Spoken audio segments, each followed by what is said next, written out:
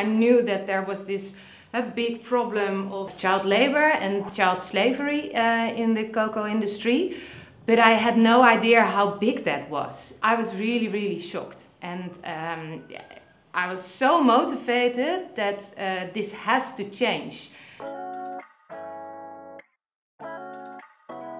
My name is uh, Pascal van Ham. I uh, work as Choco Loco at Tony Chocolonely and that means that I'm head of marketing uh, and uh, at Tony's uh, we all have our Choco titles. So um, that means that we take our mission very seriously, but we take ourselves not too seriously. So I'm Choco Loco.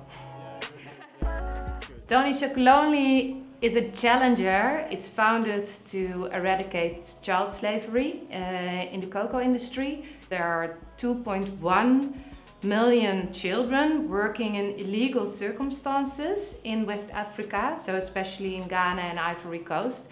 We have uh, a handful of uh, big chocolate multinationals and there is uh, a lot of anonymity in the chain.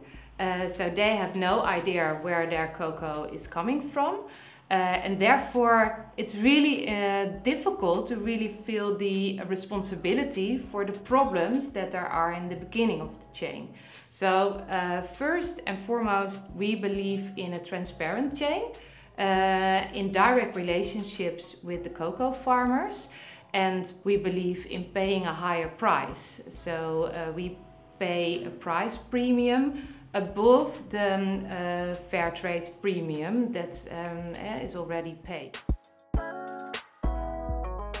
Chocolate is a product uh, that you enjoy. It's about indulgence, about happiness, and this product should not be affected by any bitter aftertaste. And therefore, um, uh, we want to tell a very serious message, but in a way that people still can enjoy the product. We don't use paid media. Uh, we, um, uh, we want to have a direct relationship not only with the cocoa farmers but also with our consumer base. The chocolate chain is, is not a healthy chain uh, and therefore we have this unequally divided bar and in that way our chocolate tells our story fair and not so square. Alone we can make our chocolate slave free, but only together uh, we can make all chocolate slave free. Everybody has to take responsibility and uh, make sure that 100% slave free chocolate will become the norm in chocolate because that is the end game.